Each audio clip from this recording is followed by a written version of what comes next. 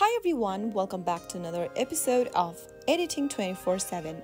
In this video, we will be learning how to remove wrinkles from photos using PicsArt. To remove wrinkles from a photo using PicsArt is super easy. First of all, open up your PicsArt application and then make sure that you're signed into your account. After you're inside the main home page, select the image you want to edit from your device's camera roll or any other sources. Click on the See All button at the top left and this will take you to your camera roll from where you can select an image that you want to edit. After selecting the image, go ahead and get to the bottom of the screen and click on the Retouch option. Once you get to Retouch, you will be able to unlock other more options from where you can go ahead and click on the Wrinkle option. Now, you can simply go ahead and enable the auto option that will automatically detect wrinkle from your image. If you want to manually remove wrinkles, click on the manual button at the bottom and brush over the areas you'd like to remove the wrinkles from. You can select the brush size by toggling on the size button.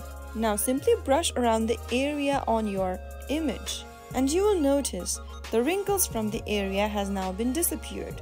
Follow through this process for every other wrinkles you want to make disappear. If there is any mistakes while editing, you can click on the eraser tool and erase your changes by brushing over the parts. Simply go ahead and try erasing the image's wrinkles by using the simple tool and you will be able to remove wrinkles from a photo in PicsArt. For better accuracy, make sure to zoom into the image and that will help get all those wrinkles from the picture. After you are done with your changes, click on the apply button at the top right corner and export your image like you would normally do.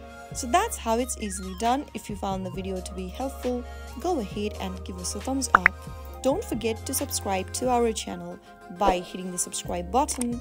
Press on the bell icon so that you'll never miss another upcoming upload from us. I will be back again in the next video. Thank you for watching.